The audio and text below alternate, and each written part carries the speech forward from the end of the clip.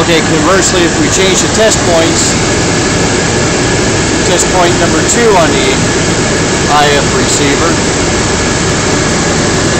and test point 65 or 66 on the phase lock loop channel sync card, the digital to analog converter output, we should see the same thing, and we do. One is in phase, and one's in quadrature for synchronous, uh, to go down to the uh, target detector for synchronous detection.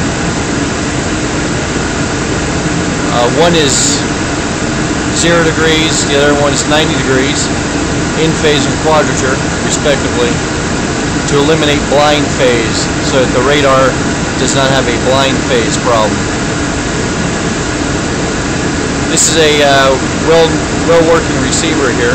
It's working correctly.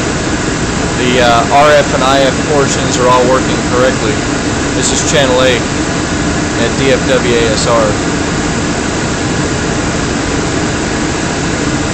Channel B does not have this. Channel B is dead. So we're going to find out why. And my test equipment setup is uh, Gigatronics uh,